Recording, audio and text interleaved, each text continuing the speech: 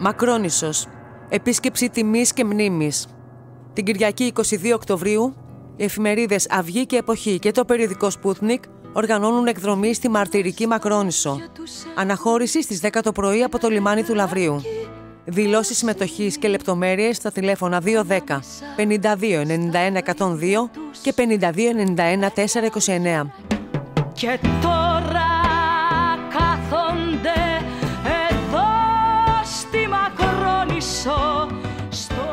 Gama tu cha